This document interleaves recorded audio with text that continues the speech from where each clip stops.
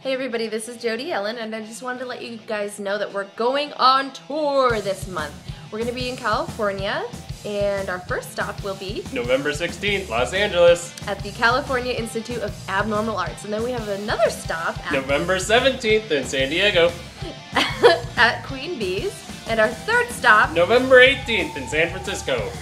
is going to be at Cafe du Nord. Joining us on the tour is going to be Nathaniel Johnstone and his band, Tempest, Tom Coyne from The Last Dance, Unwoman in San Francisco. and Zoe Tantrum in San Diego. It's going to be so fun! I hope to see you all there! You should come. All I can get is your boobs no matter where I go.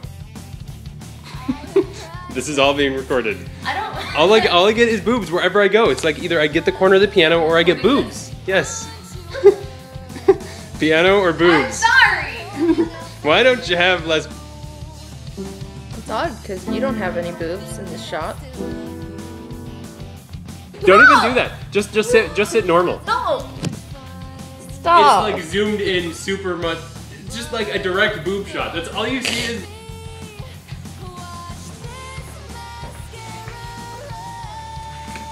What are you wearing?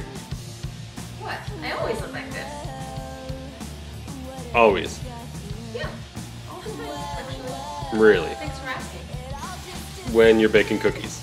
Um, I like to wear fur. Um, warm. And yes.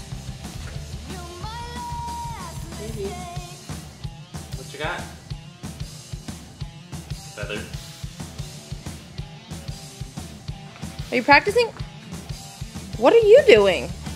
Practicing.